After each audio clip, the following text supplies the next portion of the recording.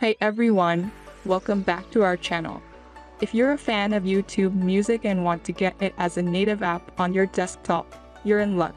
In this video, we will share with you two methods do just that. If you want, you can just a heads up to part 2, where you can learn to get YouTube music downloaded to your desktop and keep all your YouTube music downloads forever.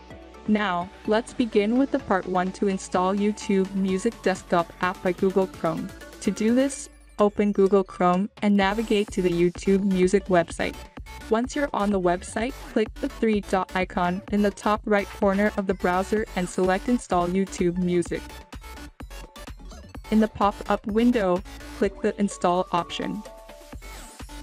Finally, it will then add YouTube Music as a shortcut to your desktop. Now, you can launch YouTube Music just like any other desktop app.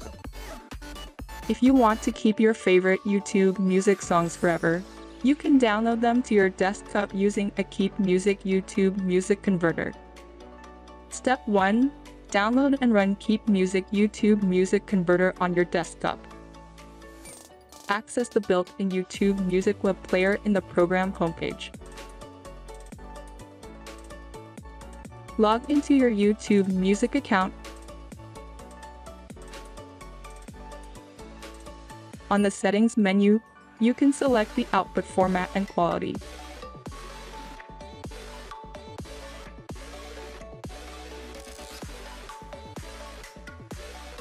and open the tracklist of any playlist that you want to download.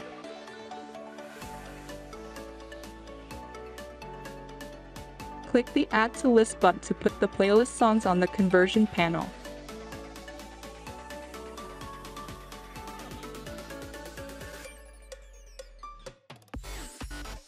Now tap the Convert Now button to put the downloading into process. Keep Music will then download the track to your computer, where you can save it and listen to it anytime, even without an internet connection. And there you have it, whether you want to add it as a shortcut or download your favorite tracks. These methods will help you get the most out of YouTube music. Thanks for watching, and don't forget to subscribe to our channel for more helpful tips and tutorials. See you next time!